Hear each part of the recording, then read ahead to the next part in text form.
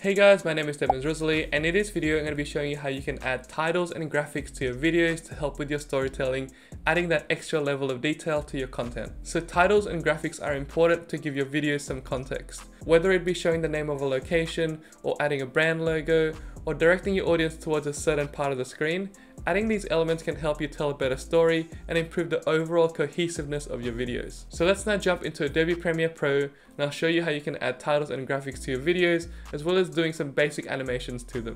Alright, so for this video, I thought I would show you guys the actual timeline to one of my YouTube vlogs. So as I scrub through the timeline here, you can see the different types of titles, text and graphics I use to help with the story or visualization of my video. So let's see here, first I've got my Instagram username popping up, then I put in the title of the video so that people will know what the video is about, and then I add my friends' usernames, and here I show the location of where we went to, and so on and so on. Alright, so I'm going to now delete this location text and graphic so we can recreate it again together but better.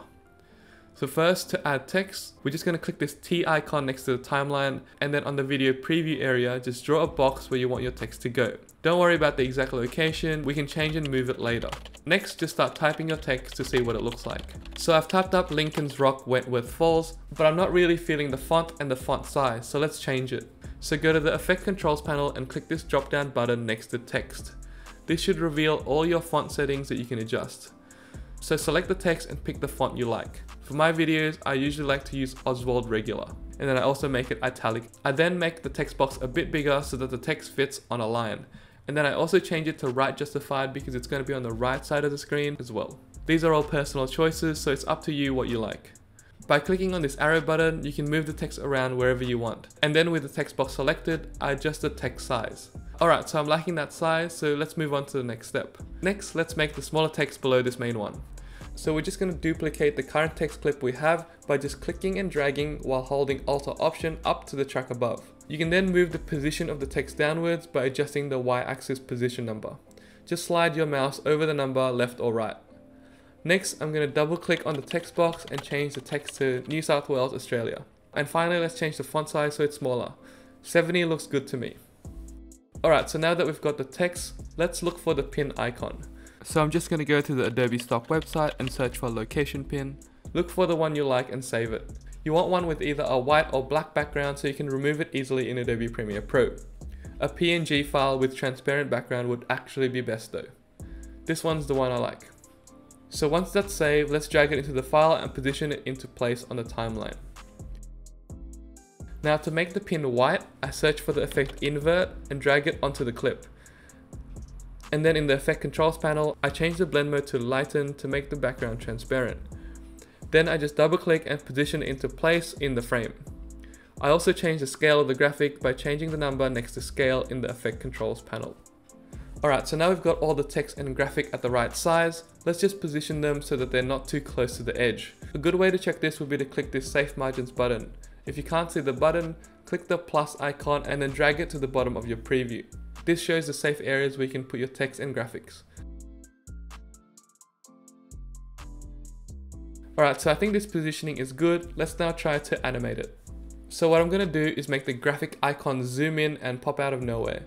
And to do this, first click on the clip on the timeline, and then at the beginning of the clip, click this stopwatch icon next to scale to create a keyframe.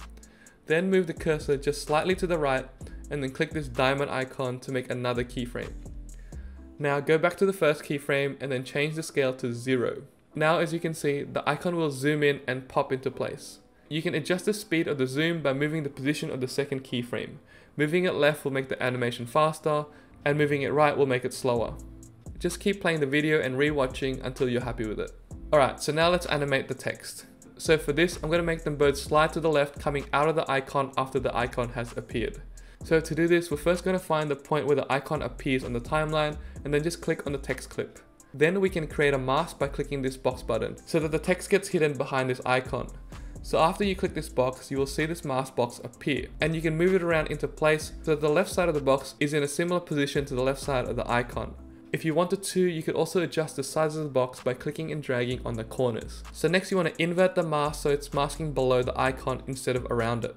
I'm going to click the stopwatch icon next to the position that is in the text panel. This is a very important step. You don't want to change the general position one because it's also going to move the mask as well. So this will create a keyframe and then I move the cursor a bit to the right again and then click this diamond icon to create another keyframe. Now go back to the first keyframe and then just slide the X axis to the right until all the text has disappeared below the left side of the icon. Again, you can adjust the speed of the animation by changing the position of the second keyframe. You can also play with the timing of the entire animation by moving the keyframes around.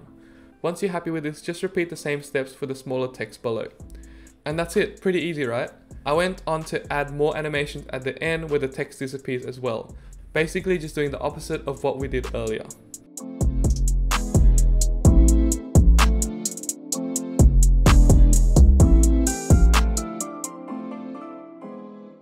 So next I want to talk about a few automated motion graphics that you can add to your videos as well that are built into Adobe Premiere Pro. For this you want to activate the Essential Graphic panel by going up to Windows and then down to Essential Graphics.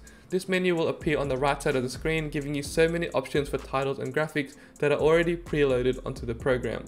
And there are so many on Adobe stock as well that you can drag and drop onto your project file too. Alright, so let's just pick one and see what it looks like. Let's drag this one onto the timeline. Once you drag it in, you can double click to adjust the settings and font, etc. So in just a few clicks, I've got my Instagram username animated onto the screen. If you wanted to, you could also adjust every aspect of the animation by playing around with the keyframes and settings here on the left. Again, let's try another one. So I'm just going to change the font and text to my username, then also hide the lines above and below by clicking this eye icon. And there you go. Super easy and fast animations built into the app. Alright, so I hope you enjoyed this tutorial and you're now able to take your social media videos to the next level using titles and graphics. Make sure to check out the other videos in this Premiere Pro for social media series and come say hello on my social channels too. See you in the next video. Bye!